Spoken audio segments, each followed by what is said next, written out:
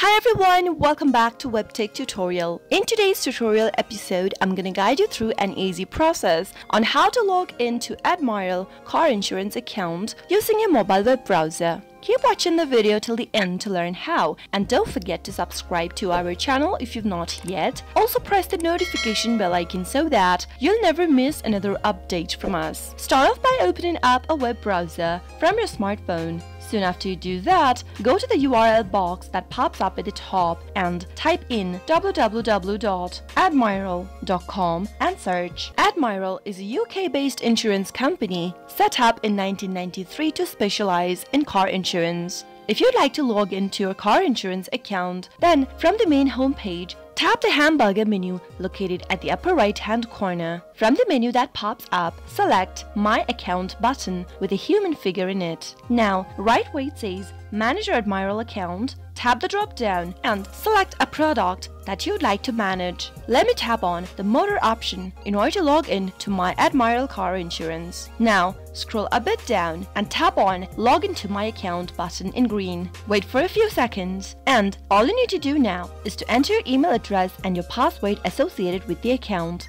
Start off by typing in your email address and head over to the next field where it says password and type in your password correct as well. In case you don't remember your email address, you can tap on forgotten your email address link. Similarly, if you happen to forget your password, click on Forgotten your password and follow the on-screen prompts. If you'd like the particular device to remember your details, then check this box right where it says Remember my details. But if you are using a public mobile device or a shared mobile device, make sure to leave it unchecked for your security before logging in. Finally, after you are done typing in your credentials and you're ready to log in, tap the login button in green and if your credentials are correct, you'll be able to log into your Admiral car insurance account right from your mobile device. I hope the tutorial was helpful to you. If you found it to be, you can go ahead and give us a thumbs up. I'll be back soon with more tutorial videos like this again. Thank you for watching.